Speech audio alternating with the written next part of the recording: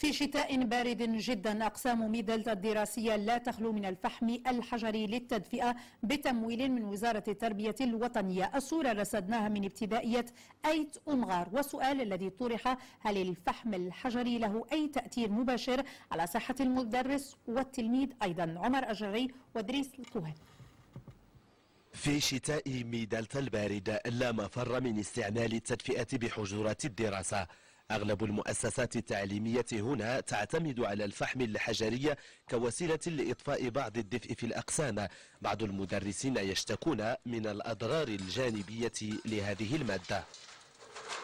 مثلا في بعض المرات يكون هناك دخان قد يؤثر على التلاميذ ما يدفعنا إلى فتح النوافذ وهو ما يجعل القسم يعني تعود إليه البرودة قبل أن تتم العملية بشكل جيد وتكون التدفئة كاملة للمتعلمين. ما كان ما كنتنفسوش مزيان. كنبغيو نخرجوا من القسم. يعني كيكون واحد الغاز كيخنقنا في الدخان اللي كيخرج من الفرن كنحس بواحد الدخان ما ك... ما كتمنعنا من أن نقراو مزيان. وك...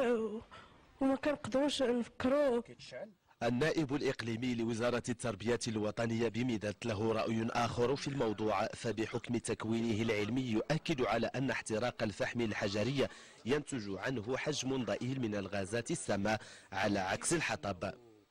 من هنا لقدام. الشرب أصح من من الخشب. لماذا؟ لأن الخشب عندما يحترق يتحول بحضور الأكسجين إلى إلى ثاني أكسيد الكربون ولهذه الغاية خصنا نحيدوا واحد اللبس عند عند عند رجال التعليم وعند الآباء والامهات بأن الشرب راه صحي ولكن ما كيشكلش الخطر اللي خصنا هو أننا نجيبوا المدفئات اللي هي مناسبة لها ويرى القيمون على الشأن التربوي بنيدالتا أن استعمال الفحم الحجري يمكن أيضا من الاقتصاد في حطب التدفئة وبالتالي الحفاظ على الثروات الغبوية. وتبقى صحة التلميذ والمدرس في الأخير أولوية بعيدا عن كل اعتبار.